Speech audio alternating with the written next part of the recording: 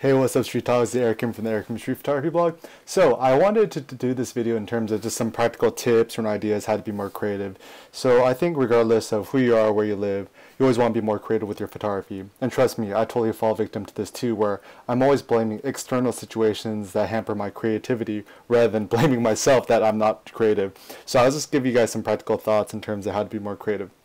So one of the best ideas to be more creative in your photography is to cross-pollinate, meaning taking different types of ideas, theories, philosophies, and kind of meshing them together.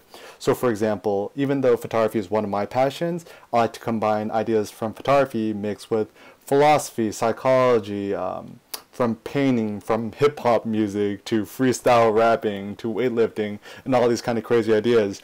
And one of the big inspirations of my photography that I get is from Zen minimalist photography. So often in photography we're told to add more things to the photo, you know, getting bigger cameras and more gear, whatever.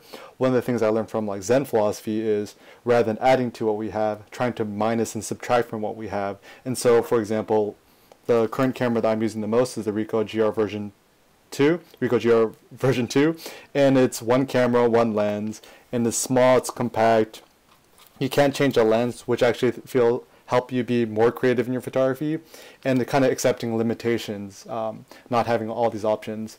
And which brings me to number two, to be more creative in your photography, impose limits in yourself, meaning don't have unlimited options for your photography. And there's different ways you could give yourself a creative constraint. For example, only sticking with one camera, only sticking with one lens, only shooting black and white or color. You could also restrict your location where you're uh, where you shoot, so you could only shoot this one downtown area where you live, or this one block, or you could only photograph maybe a two mile radius of where you live and whatnot. And by having these constraints, it really forces you to st step outside your comfort zone and kind of find beauty in things that you might not necessarily expect. Another way you could be more creative in your photography is to make sure to always publish and put your work out there because I think a lot of us kind of have a fear of being creative because we're feared of uh, negative judgment and people kind of looking down on us saying what we're doing isn't so good. And so practice putting yourself outside your comfort zone by you know publishing try publishing once a day. Publish a photo a video a blog post uh, any sort of ideas that you may have. And don't really fear what kind of negative consequences you might have and probably the last tip I have is don't forget to have fun because I think creativity is all about being a child, kind of going out and playing and not worrying so much about these small details of whether it's good or not.